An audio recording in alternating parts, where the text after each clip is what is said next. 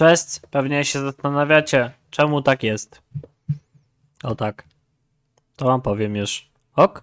Ok. Na początku Skins Monkey, wiadomo, strona do wymieniania swoich skinów, która nie wlicza cen naklejek. Proszę sobie wchodzić. Link w opisie. Fajna jest. Takie se są, takie se są. Dla snajperów spoko strona to jest. Takie se są, takie se są. Można se wyciągać. Ale dość tego. Dlaczego tak jest? Bo był kolega sobie taki i on sobie co robił? Mówił innym, o wy przegrajcie, o wy wygrajcie, albo my przegramy i tak dalej. I on grał w Godsend.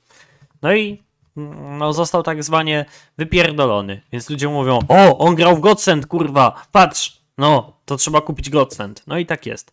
Jak ktoś ma Godsend, to raczej lepiej sprzedać w takich sytuacjach losowych. Tak polecam. E, w ogóle jak RMR, bo widziałem, że też było. To taki jeszcze mini przegląd Godsentów.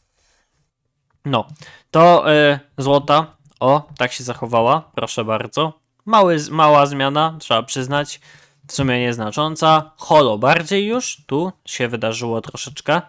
Zobaczcie sobie, o, tak się stało. E, no i w sumie co więcej, dupa gówno. No co, folia tylko, wiadomo, tak jak większość. Nic do przewidzenia, chociaż pewnie dużo osób się na tym y, ucieszyło, że coś takiego się wydarzyło. No.